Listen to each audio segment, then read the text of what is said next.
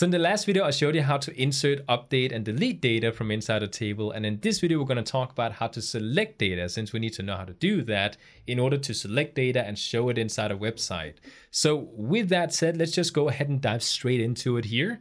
Uh, in the last video, we did create a couple of data inside our tables here. So inside my comments table, you can see that I have uh, one comment from one user. And inside my users table, I do have two different users that I could do something with inside my database. So we have Basse and Krossing. And what I want to do here is I want to go inside my database and go back inside my SQL tab. Now, again, it looks a little bit weird on my screen here because I'm zoomed in, but if I were to zoom out, you can see it's right there.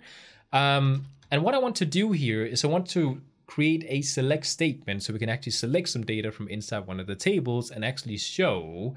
And we can do that directly inside our console here. So if we were to go in, I can write a select statement. So I could say I want to select, and then I want to say, what do I want to select? You know, what kind of columns do I want to select here? So I could, for example, say username.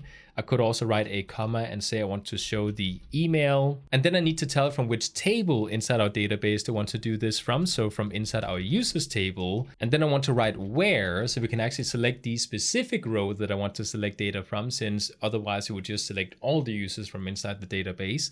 Um, so right now, what I want to do here is just kind of tell it which row they want to select from. So I could, for example, say where the ID is equal to 3 in this case here. So if we were to do this, we can actually output data. Um, so if we were to run this, you can go down, click go, and then you can see we get some data in here. So one total we got from this query here. So if we were to scroll down, you can see, okay, so we got a person called Krossing with an email called John Doe because he is the one that has a ID set to three inside my users table.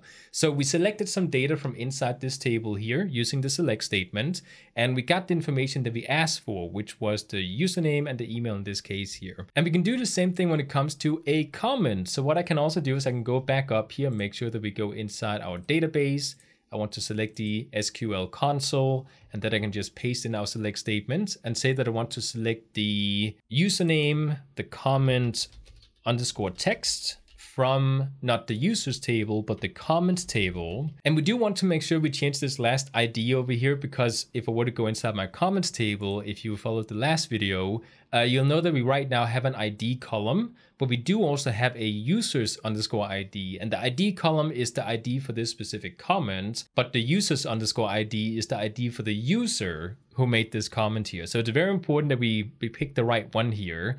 Uh, so users underscore ID is what we need to select over here. So users underscore ID. And I'm just gonna go ahead and copy everything to make sure it's saved. Go back down, and then I'll go ahead and query this inside my database. And then you can see we get another user, or at least a comment from a user here called Krossing, and we get this is a comment on a website. Now, we do also have something else we can do, which is something that you usually see people do when it comes to selecting data from a database. If we were to go back inside my SQL console, I can do the same thing, but instead of writing which specific columns I want to pick something from, I can go ahead and write a star symbol or a multiplication symbol. Um, and that will actually go and select everything from inside this row here. So not just specific columns, but everything. Okay, so what I can do is I can just go and save this go back down, run this query, and then you can see we get everything. So we get the ID, the username, the comment text, the created at, and the users underscore ID of this particular comment here. So it's not really that difficult to select data from inside one of these tables You just need to run a select statement and just fill in the blanks, essentially. But now let's talk about something called a join, which is when you select data from two different tables at the same time, or actually you can do as many tables as you want. But let's just go ahead and focus on two here. Uh, so let's say I want to select my user called Krossing, but I also want to select his comment from inside the comments table. So now we're actually grabbing two different uh, rows of data from two different tables. What we can do is I can go ahead and make sure I select my database and open up the SQL console. And I'm just going to go ahead and paste in what we had here from the previous example. So select everything from comments where users underscore IDs equal to three. So now when it comes to creating a join, we have a couple of different types that we can use. We have something called a inner join. We have something called a left join, a right join. And in some databases, we do also have something called a full join. But in MySQL databases like the one we're using right here, I do believe we do not have a full join. So instead, what you could do is create something called a left join and a right join union, we basically combine those other two types of join to get the same effect as a full join. Um, again, I'm just kind of like rambling here and you probably don't understand what I'm saying.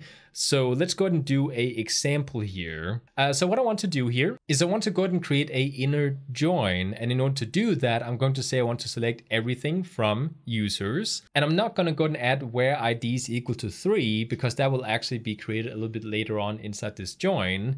Uh, so instead, I want to go ahead and say I want to select everything from users and do a inner join together with the other table that we have called comments.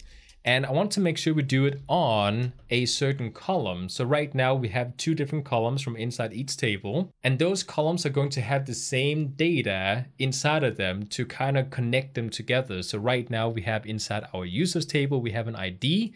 So our user has an ID as three. And inside our comments table, we have a comment where the user's underscore ID is equal to 3. So what I want to do here is I want to combine these two tables where we have this same column data, right? Because we made a foreign key, so we can do that using the foreign key because that is perfect for that kind of thing. So what I'll do is I'll go back inside my query and say I want to select from my users table, so users dot, and then you can see we get some options here. So I'm going to select the ID where it's equal to our comments dot, and then you can see we get users underscore ID, and then basically spit out the data based on these two tables here. So again, before we query this, just to explain it again, because I know joins can be a little bit confusing to people, uh, we're basically combining two tables together and we want to select everything from both of these tables. And we start by selecting one table. So in this case here, the users table. And then I want to inner join it with my comments table. And I want to combine the data from these two tables using one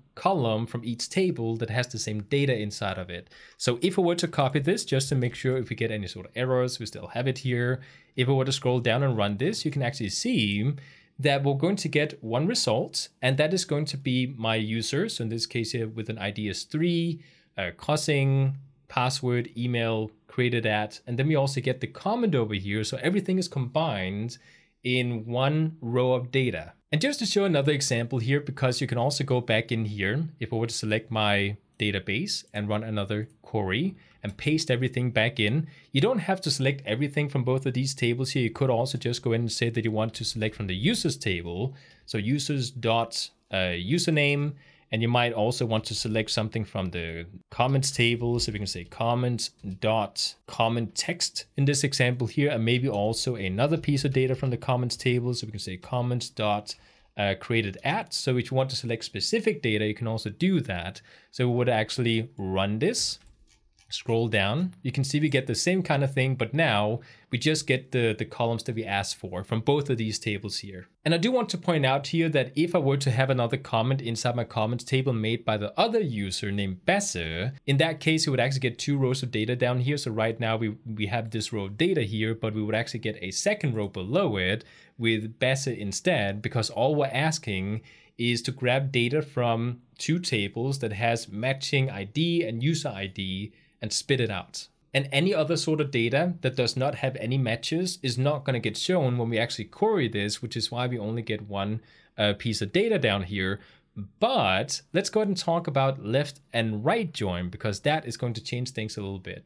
So if I were to go and select my database, go back inside my query and just paste everything in. And instead I'm going to do a left join, which means that basically this users table is the primary table we have in focus and I want to join it together with any sort of comments that are made by my users. So even if a user does not have a comment, we're still going to show all the users from inside our users table, but they're just not going to have the comments shown next to it. So by doing a left join, uh, you can kind of see here that we have the users on the left here and we have comments on the right side. And that is basically what we're talking about here when we're doing a left join. So, you know, this is the left side, this is the right side.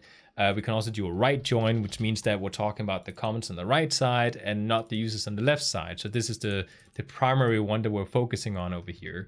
Uh, but just to kind of demonstrate this, if I were to do a left join, I am now selecting all the users, no matter if they have a comment assigned to them. So in this case here, if I were to go ahead and do this and run it inside below here, you can see if I were to click go, we would now get two pieces of data because I'm grabbing all the users, but you'll notice that the user that does not have a comment does not have any sort of data, it just has null instead because we have no data. So in this case, you can kind of see that we still grab everything from our users table, but not everything from our comments table. Only the comments that have a matching user is going to get grabbed. And we can also do the same thing the other way. So if we were to go back inside my database and do a right join instead, I can just paste everything in here and say I want to do a right join then I'm going to show all the comments, but only the users that actually made a comment where these actually match when it comes to the columns. So in this case, we're just going to get one row of data, which is going to be the exact same thing as when we did our inner join. That is just coincidence, by the way. So it would actually run this. You can see we get one row of data, and that is going to be our cousin because he actually has a comment. So we're showing all the comments here, but not all the users, which in this case, it would just be one row of data. So if I were to have more than one comment inside my comments table, uh, we would have all those comments listed below here, but the user information would just say null instead. Uh, so the opposite of doing a left join, essentially in our case here with this example I have, uh, to show you. And that is basically how to select data from inside our database. And I just want to point out here that I know we talked about joins in this episode here. In a lot of cases, when it comes to just grabbing data from a database, you're just going to be doing what we did at the beginning of this video here. You're not going to be using join for something specific. That is more for other specific purposes inside your website. We actually do want to combine data from different tables. But in most cases, you're just going to be selecting data using what we did at the beginning. So uh, don't worry too much about these joins here. They are good to know uh, but we're not going to be using them you know when we start selecting data from inside our website in the upcoming examples when we actually uh, start talking about how to use php to select data from inside a website database. So with that said this is how you select data. I hope you enjoyed and i'll see you guys in the next video